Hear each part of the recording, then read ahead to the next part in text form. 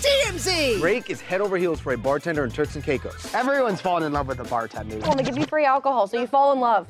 Tonight at 12:30 on WBNX.